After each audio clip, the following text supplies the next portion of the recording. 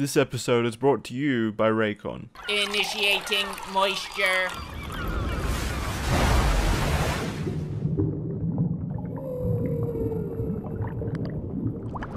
When the first trailer for Sonic the Hedgehog dropped, it was love at first sight for me. I was expecting a beautifully entertaining disaster on the same level of the greats, something like Food Fight. And then they announced that they were going to completely redesign Sonic due to the backlash, and then they actually made a competent looking Sonic, which is what we have in the movie today. And I will say that single decision in the redesign saved the movie. The movie's actually pretty good, but if you think about the version 1.0, and I swear to God they need to release the fucking 1.0, I will pay for another ticket just to go see it in its original form. Because the original Sonic, for those that don't remember, looked like a sex offender in a fursuit.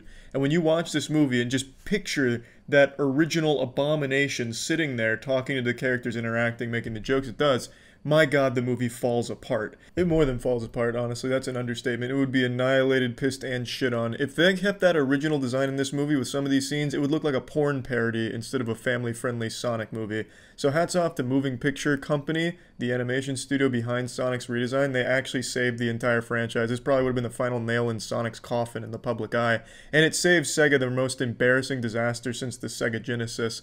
So, they should really be sucking Moving Picture Company's dick or their ass or something, but they can't because Moving Picture Company has closed its doors because animation studios, visual effects artists, they don't get paid what they deserve, so the entire studio had to close, which means the Sonic redesign is their swan song. Uh, that's a whole different can of worms. But hats off to the people behind the redesign. It actually saved the movie. Like I said, the movie's pretty good. It's not bad, it's generic, and it's very clearly for kids. And it does really well in that area, I imagine. Kids loved it. People in the theater with their kids, they were having a great time. And it's not bad, it doesn't hurt to sit through. It's not like a painful experience. But it very clearly is aimed at a younger demographic. Sonic flosses twice.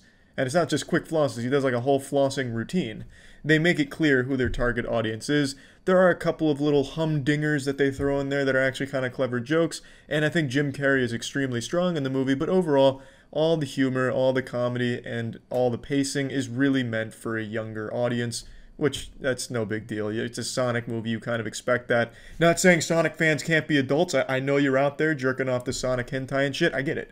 That shit's been around since the invention of the internet. I'm very familiar. I'm saying this movie in particular is geared for a younger audience, so you might not find prime masturbatory material in this one. There are some really cool moments in the movie, though, I'd say, and especially when it comes to their fighting. It's not exactly fighting. Don't go in there expecting some, like, you know, Raid or Ip Man style choreography or anything like that. But when it comes to their fights, I like what they do with Sonic's speed and to give you a sense of just how fast he is. They do, and this isn't a spoiler, they do what they did in X Men to show Quicksilver, where time stands still and they interact with the world in slow motion while they're still going fast and they change things around and then all speeds up at once and you get to see this chaos that unfolds. That's Sonic's signature move and it really looks cool on screen.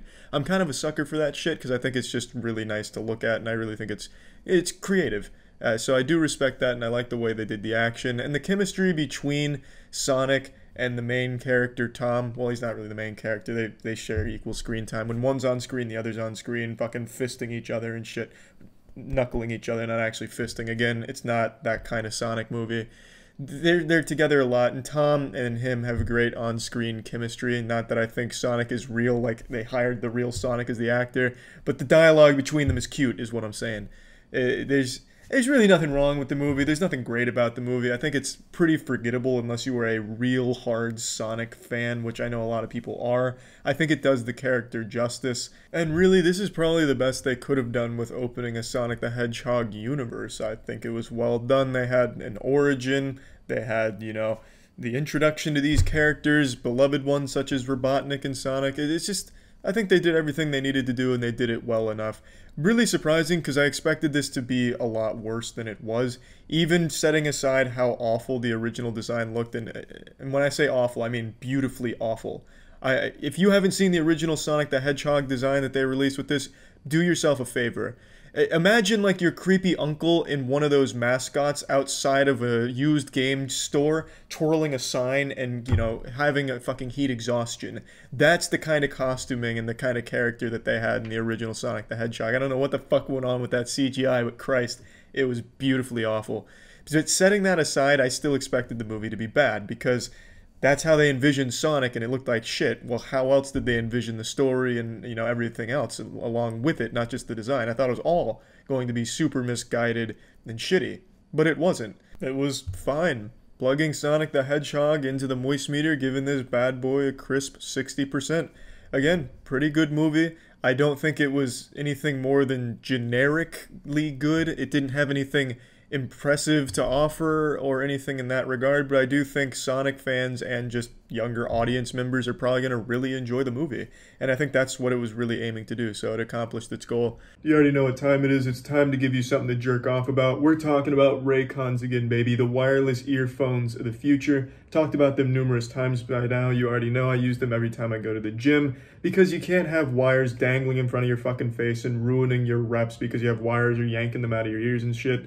So when you're doing these reps and anything that requires physical activity, these wires are very intrusive. And, you know, for me personally, my flawless technique at the gym, I can't be distracted by that kind of hindrance, which is why you've got to go wireless, and Raycon is the best option for that. They sound just as amazing as other premium audio brands, but come at a lower price point. They also just came out with their newest model, the E25, six hours of playtime, seamless Bluetooth pairing, compact, all the bells and whistles. So if you're interested, click the link in the description to get 15% off your Raycon order. I highly recommend them as I have multiple times in the past. So again, 15% off if you click the link in the description. So yeah.